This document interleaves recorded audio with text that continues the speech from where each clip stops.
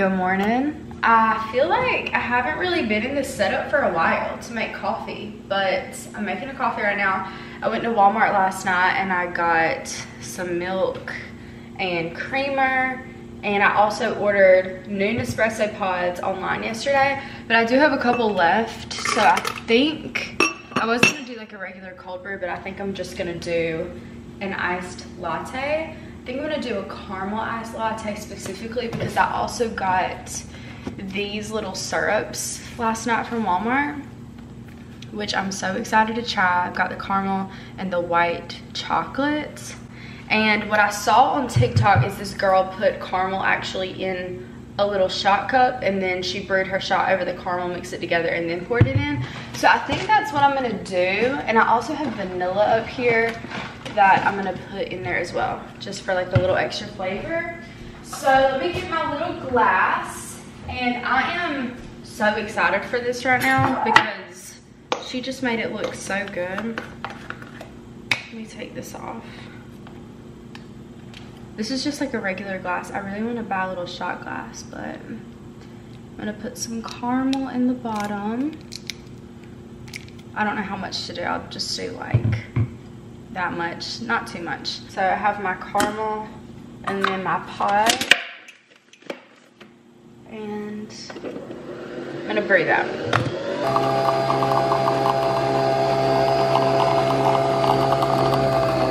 Oh my goodness, this smells so good.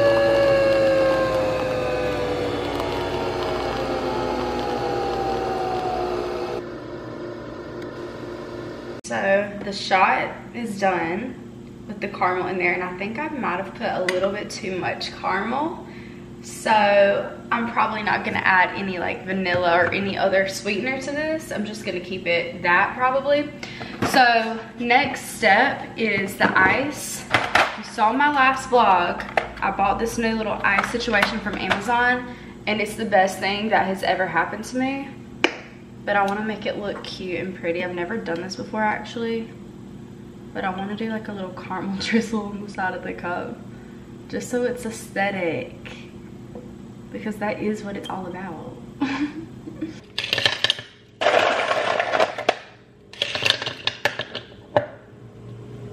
Go in with my milk. This is a latte, that's why I'm doing milk as like the base, you know? Some people are like, you have so much milk, that's all milk and no coffee, but it's a latte, so it's like mainly milk anyway. Wow, I put a lot of caramel in this, it's okay. It's okay, we'll make it work. Just mix the shot with the caramel. This smells so good. And this is the coffee.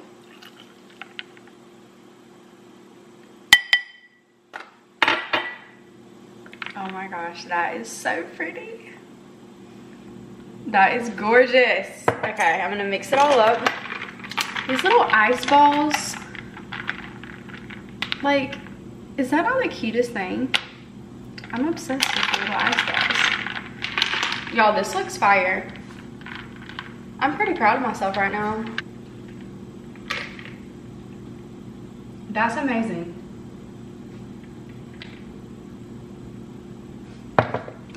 I just really did something with this. All right, so if you want to spruce up your coffees in the morning, go to Walmart, get this stuff. I haven't tried this one yet, but this is the bomb. And I thought it was gonna be like really hard to find, but Walmart really does have everything. So yeah, but I'm gonna clean all this up. Cheers and have a good morning.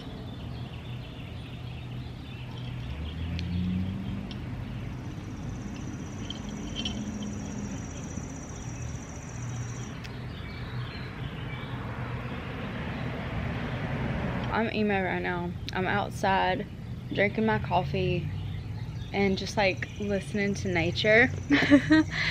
and I'm feeling so blessed. Like, so blessed. I just can't believe that this is my life right now. Like, I have my own house and I'm just outside leisurely doing my thing. But I wanted to read this little passage of scripture because this is such a good passage It's from the book of John. It's John 8. It's about this woman who was accused of adultery, committing adultery.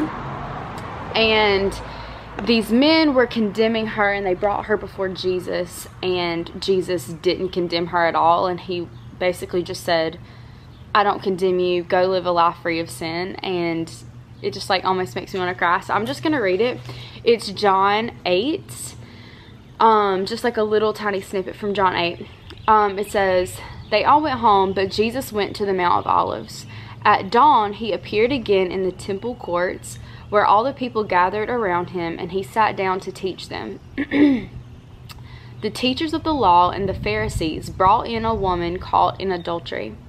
They made her stand before the group and said to Jesus, Teacher, this woman was caught in the act of adultery. In the law, Moses commanded us to stone such a woman. Now what do you say? they were using this question as a trap in order to have a basis for accusing him. um, but just like think about what this woman must have been feeling. Like so much shame. All these men are bringing her before Jesus and the teachers of the law. She's probably like so embarrassed. But anyway, um, it says, But Jesus bent down and started to write on the ground with his finger. And it never really says what he was writing, but I'm sure like I don't know what he was writing, but I'm sure he was writing something like epic. Um, and then it says, when they kept on questioning him, he straightened up and said to them, "Let any one of you who is without sin be the first to throw a stone at her." Again, he stooped down and wrote on the ground. At this, those who heard began to go away one at a time, the older ones first, until only Jesus was left with the woman still standing there. Jesus straightened up and asked her, Woman, where are they? Has no one condemned you? No one, sir, she said. Then neither do I condemn you, Jesus declared. Go now and leave your life of sin. So I just thought that was really good. I love that because I feel like sometimes we we do things, we sin, and we're very ashamed. We feel a lot of guilt. I know I do at least. And it just reminds me like Jesus is not condemning me. He wants me to leave my life of sin and he's gonna love me. He's not gonna accuse me and point the finger. And I just love that. I just love it. Um, so yeah, I'm just sitting here being emo this morning.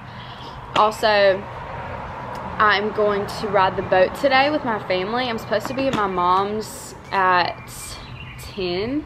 We're gonna leave at like 11 to go ride the boat, which is honestly kind of late because we're gonna have to drive two hours to go to the place we're gonna put in but um, the only reason we're leaving so late is because my mom had a couple calls this morning that she had to do so we're having to leave a little later so i'm probably gonna go get a couple like snacks and chips and stuff that we can eat on the boats and like pack some stuff up and then head to her house i'm gonna change like pack my bag for the boat and everything and then i'm going to ride the boat for the rest of the day literally all day I pro we probably won't even get back home till like maybe 8 o'clock tonight because I'm sure we're going to go eat and stuff after and then we're going to have to drive back. But yeah, fit check. Sweats are brandy. Y'all literally do not care what I'm wearing right now, but it's really comfy and I wear this outfit all the time. So it's a brandy. Birkenstock dupes, which I shared in my last um, video and come to think of it, I don't think I linked them, but I will link them in this video. And then this little thing is from Old Navy. I bought this bag of cherries the other day and I have this little bit and these left and I'm gonna wash them, put them in this little container and take them on the boat. I love cherries in the summertime. I also changed my outfit, and like put on a bathing suit and everything, which I will show y'all.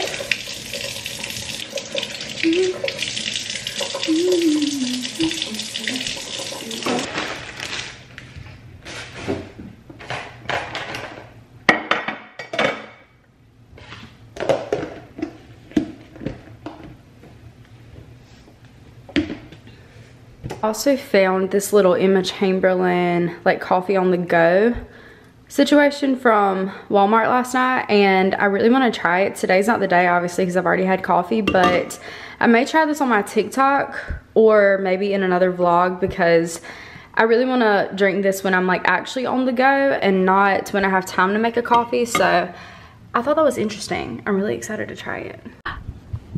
Look at Bentley. Ben, what are you doing? Are you sitting in the shade?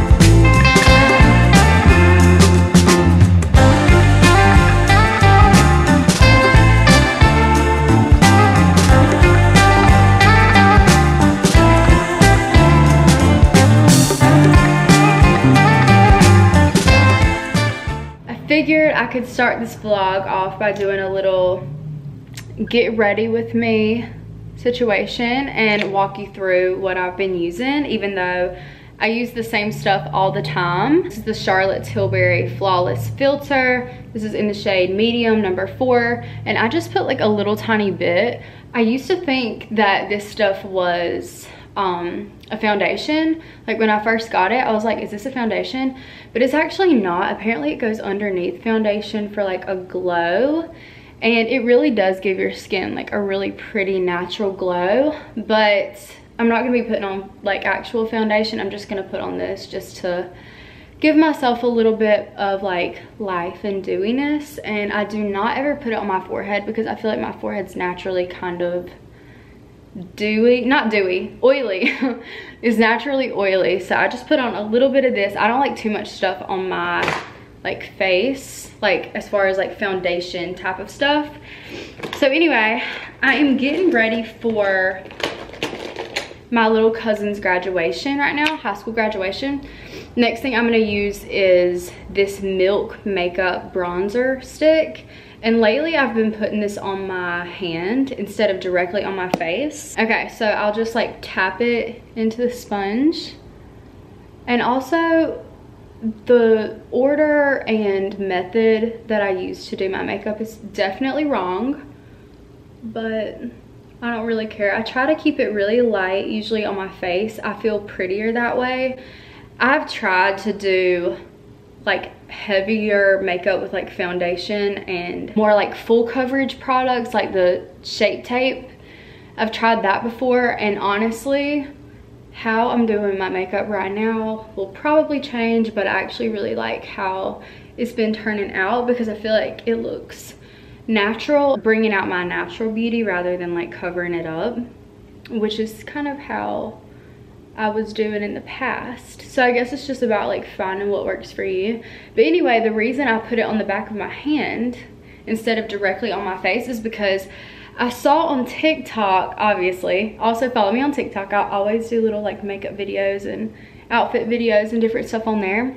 But I saw that if you put the contour stick directly on your skin, then it kind of like hardens if you don't blend it immediately. Hardens, is that the right word? Dries, it dries. so, and it makes like more of a harsh line. And I do feel like this looks definitely more blended and less harsh if it's just like applied on the back of your thing and then just dipped. I don't want to be too heavy at this high school graduation, but I have been at work all day and I need some serious help. I got home and showered and I feel like I'm kind of in a rush.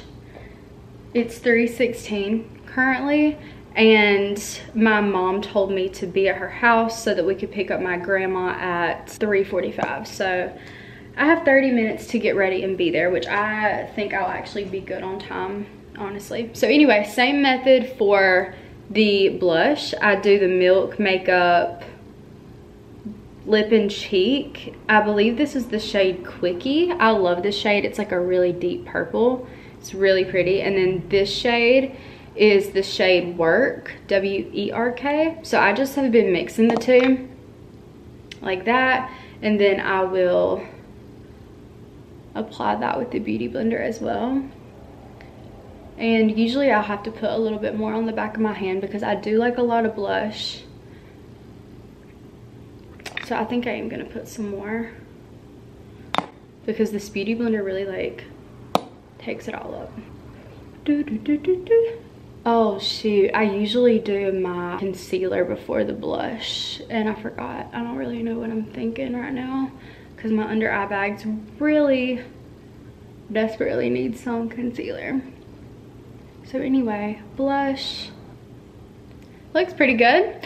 I need a bronzer. What the heck am I thinking? I'm stressed. I don't know what I'm thinking. Anyway, back to bronzer. Usually I would do blush last, like absolutely last.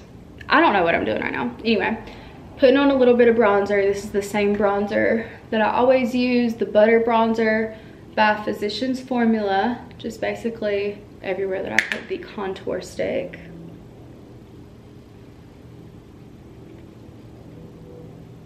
And I guess I'll have to go back in with a little bit more blush. I guess I'm left no choice. And I'll take this down my neck because I want to make sure I am bronzed all the way down. I still don't know what I'm wearing. I'll probably just wear like a little dress that I usually wear to church or something because I can't even like be bothered to think about it. I'm gonna take a little bit of the bronzer, just a little tiny bit and put it in my eyeshadow or as my eyeshadow. Um, I used to do this like super heavy and intense, like a lot of bronzer as my eyeshadow, but I'm not gonna do that today. I'm just gonna do a little bit and blend it all out. I don't know what that is. Like it looks like something's not blended, but it's actually been there for a while. Do y'all see my under eye bags right now? Like what? What's going on? Next is the NARS Radiant Creamy Concealer. I'm absolutely obsessed with this stuff. And the shade is Light 2 Vanilla. Y'all are probably like, girl, we've seen your makeup a million times. Because it doesn't change. This stuff is honestly my OG holy grail though because I used to use the Tarte Shape Tape as I was saying. And I do like that for a full coverage look, but I feel like when I do full coverage on myself, at least, it just doesn't look as good. Not sure why. I always like to start blending this with my finger for some reason. And then I'll go back and blend it in with the Beauty Blender just so it's good and blended. Um, yeah, not sure why I did this so out of order for myself, but I'll blend it in with the Beauty Blender. I need like a home remedy or something for my under eyes because I feel like they are just like very much baggy and dark and I don't know.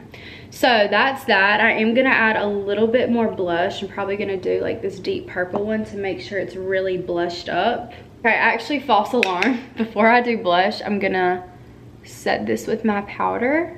And the powder that I use is my absolute favorite. It's the Charlotte Tilbury Airbrush Flawless Finish Powder. And just look at this like situation. And now look at it.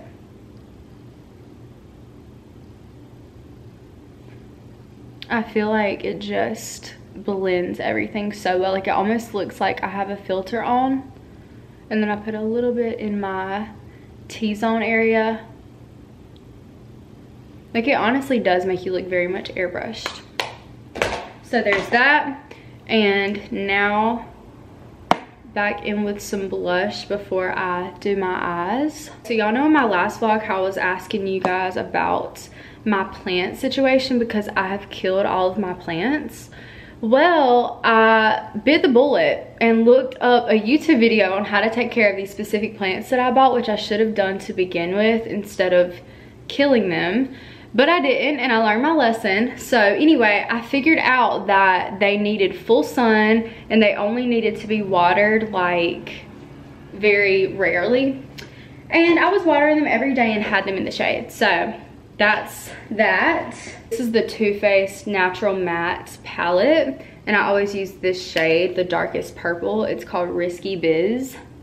And I'll just go with this little angled brush and I'll put it right next to my waterline and then I'll do like a little tiny wing. Sometimes I'll do a bigger one, but tonight I'm just gonna do a tiny one and like the smallest little line. And I feel like this accents your lashes so nicely. It makes them look so like big and voluminous, um, like at the root or whatever. Okay, that's what that's looking like. So it gives me a little something. I'm gonna curl my lashes. I use the L'Oreal Voluminous mascara.